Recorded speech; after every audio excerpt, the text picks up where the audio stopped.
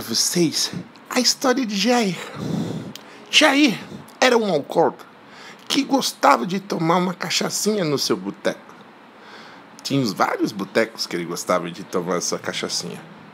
Só que já estava enchendo o saco essa lei do bafômetro.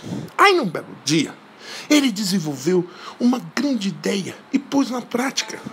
E criou o supositório de pinga. Isso mesmo, ele punha o supositório de pinga no cu. E aí ele ficava bêbado.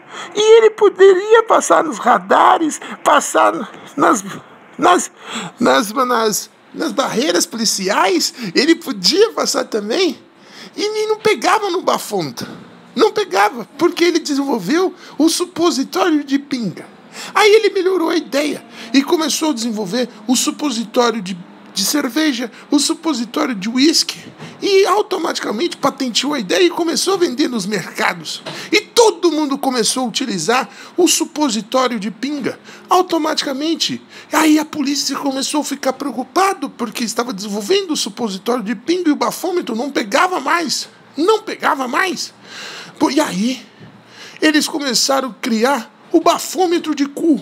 Exatamente, o bafômetro de cu. E aí, automaticamente, quando as pessoas paravam nas barreiras policiais, tinha que ficar de quatro e pôr o bafômetro de cu.